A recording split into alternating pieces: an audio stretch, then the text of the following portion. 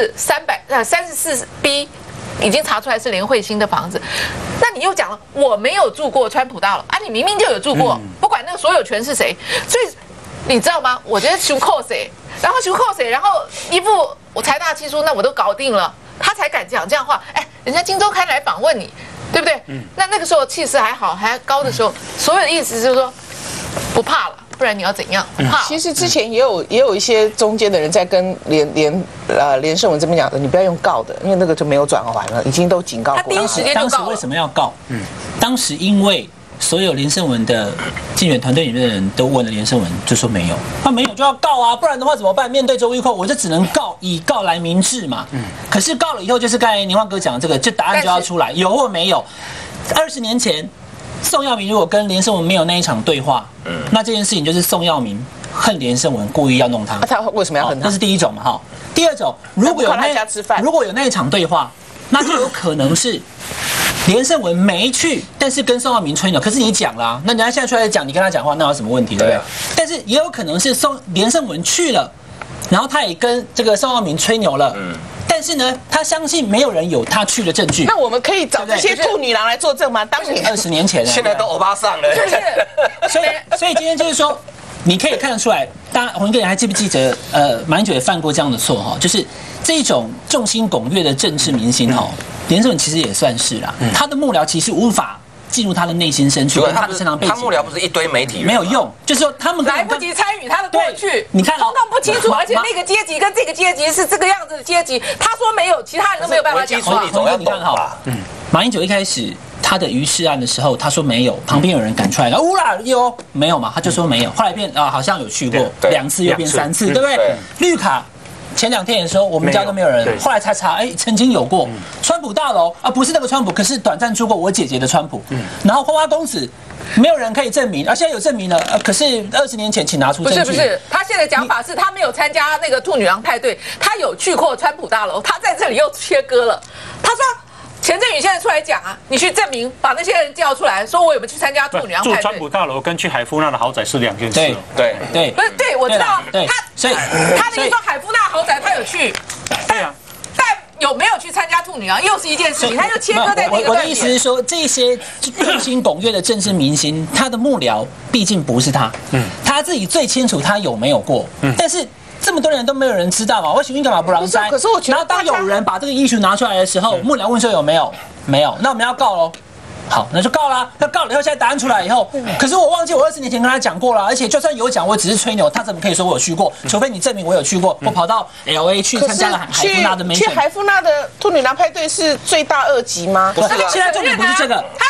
重点不是他有没有住川普，也不是他们连家有没有钱，更不是他到底去过了这个花花公子派对没有，而是他说他没去过，而且他还告，他说他没住过川普，而且他还提出呃我从来没有的说法。那现在一一被检视说你讲话不诚实，这才是最大的问题。这是踢鬼啊，不踢鬼，是讲其实你公踢鬼，他踢鬼的承认啊，那我那所以他现在觉得我印象中就是这个脉络是他是官二代、富二代跟这个庶民在选举，那没有因为我打他，其实第一个。时间点是他去喝四万块钱的红酒，那那个是原件，他有脉络的。然后他又去说他有住川普，然后又有去这个兔女郎，他的脉络很清楚。他们家是这个状况下要来选举，那你跟小老百姓又住又住这个地方，那你跟小老百姓之间的距离这么这么大，你一直以来是这样的生活方式，你现在要来选举，所以他是用那个脉络下来打的是不诚实，因为不然其实刚刚都问过了，你不要跟我讲你不想去，如果有机会去那个兔女郎俱乐部，对不对？这不是每个男人的梦想吗？干嘛假装很清高，说我都不会想去？这这个。我我我觉得我像我就不会想去了。进广告了，你不可以一竿子打翻所有人。真的吗？对。进广告，进广告。我会找宋耀明。有机会不去我我。新闻哇哇哇！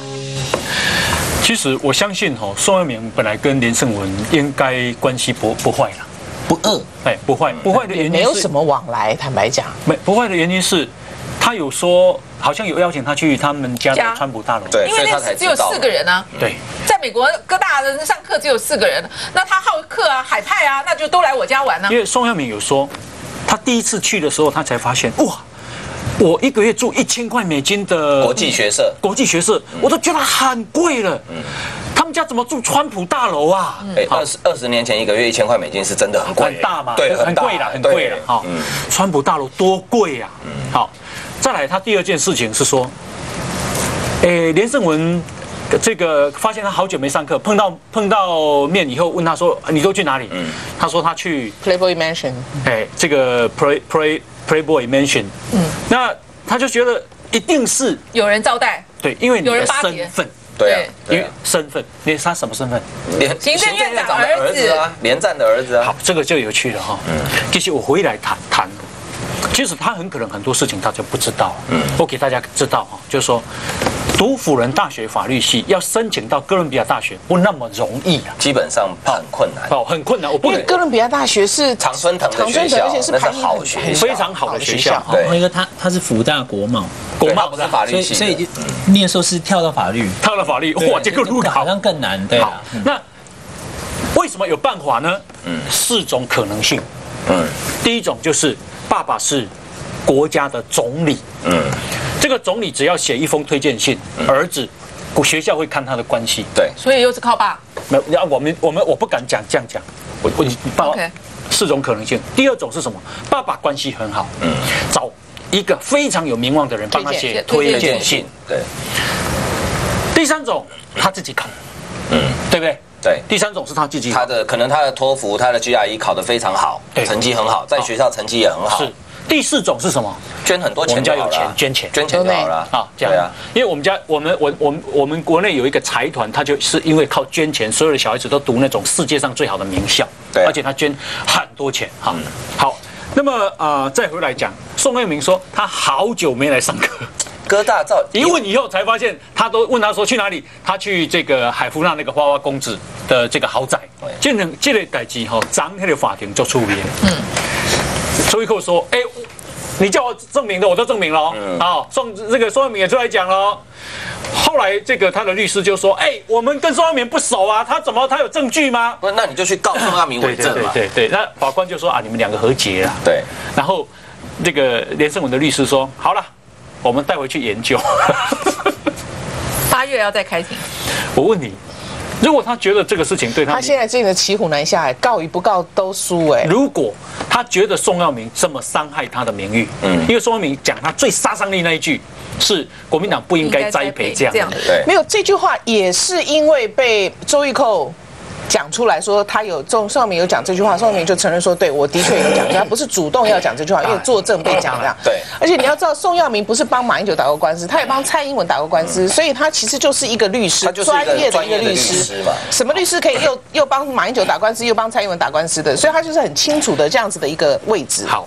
那事情发展到这里就很清楚，就是说，宋文明，我认为对他杀伤力最强的是国民党不应该栽培这样的人。他的好，可是他那个讲的不是台北市长，我们还是要讲是当初做做中常委，就是说不应该让他从应该是说他讲的是连胜文这个人呐，不是什么位置啦。对啊，杀伤力是这一句话。对，那再来就是说对他形象伤害很大。对，对不对？好，那照理说，如果是我是律师，或者是我是连胜文，他律师一定会说，老板，那我们要不要继续告？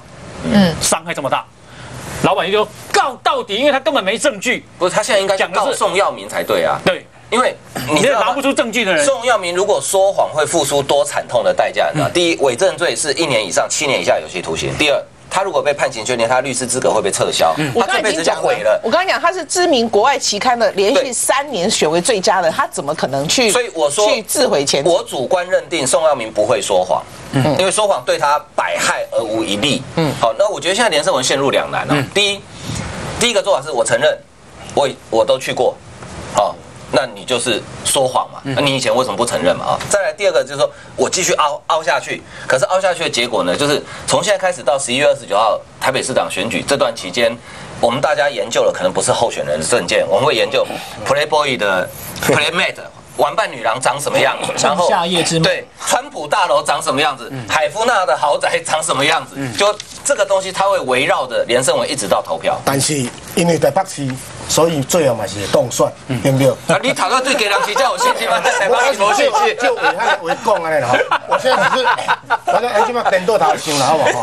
你现在是认清事实吗？不是，咱起码电脑头想讲，我觉得你连胜文这个人能不有没有能力做台北市市长啊？我们回头想啊，六月十六号之前，连胜文跟他的律师团都可以危机控管撤回告诉，嗯，对都可以哦。对对六月十六号之前没有去撤回告诉，是不是他已经掌握宋耀明不会在法庭上做出对他不利的事情？他基本上是应该这样认错定。，我认为错。我认为他透过很多关系去跟宋耀明去协调，或者去沟通，希望他不要害连胜文。一点不是都不是什么不是宋耀明没有要害他，对，不是他只要出庭说我忘记我忘记了就好了。没有宋耀明一定没。有答应嘛。对啊所以宋耀明没有答应。连胜文的危机控管，或者是他的幕僚团、律师团，就要意识到讲，哎、在出庭把你宋耀明啊，叫安尼讲出来，对他的伤害有多大他应该要知道啊，六月十六号之前到三月份就有三四个月呢，居然连胜文没有办法去处理这样要发生的危机。那我给告诉你，现在陷入什么呢？嗯，就是进退两难。我告诉你，昨天的这个上了法庭以后，还有继续在打电话，是不是能够翻案？我刚刚讲了，八月还要再上法庭，然后一翻两瞪眼，在这过程当中，如果再来一个翻案，那个连胜文就没有，我判断他会和解，连胜文就没有。会和解完蛋了。我判断他会和解。会和解就是印证宋汉明讲的都是对的。嗯，如果是我的话，六月十六号之前我把这个案子撤回来，我就告诉台北市民说，其实这一些事情不会影响我未来处理台北市政的能力。嗯，啊，充其量。也是年少发生过的事情，有跟没有，其实已经没有，所以我觉得，我觉得这应该给连胜文团队一个警示，就是说 你们的做事情的逻辑不能再用以前那一套。那一套是什么？我先告了，然后瞧，你懂吗？好，就是他要告的时候，他又说我组成六十个庞大的律师团美。人，这都是连胜文自己决定，这也是连胜文自己讲。我相信没有人敢出面证明我参加过，这都是他自己讲。然后他说，名嘴所有的资讯都是错所有人都打到一边，跟他站在对立面。所有我们今天讲的，通通都是错的，他全盘不承认。如果这是别人讲的，他下面的幕僚或是发言人讲，你可以说他团队不是，是他出来面对媒体专访的时候自己讲的。而且你看他那个讲这个话，你可以想象他那个气势跟那个样子。所以你刚刚讲团队，不要怪团队，都是他自己。刚刚蔡文讲。